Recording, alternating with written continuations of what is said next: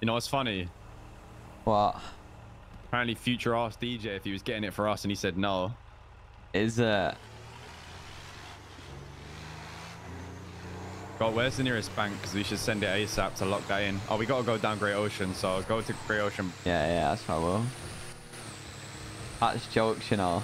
He asked if he was getting it for us. Yeah. We must be rent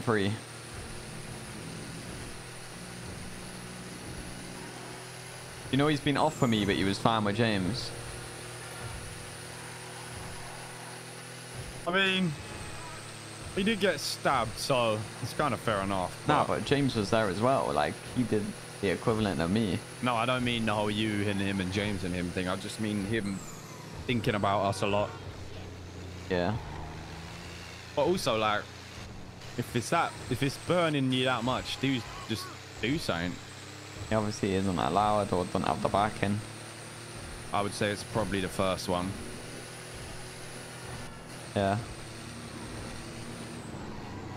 That's a good thing though. Like, bro. I think if we weren't neighbors with a lot of the people we are, they would have been more inclined to do things back when we've done stuff.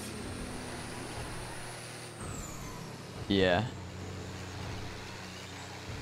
I think that that's a big reason why our like why Foreheads group like haven't really done shit when because they've poked our bear a few times and we've poked theirs, but like there's never really been a big like Issue.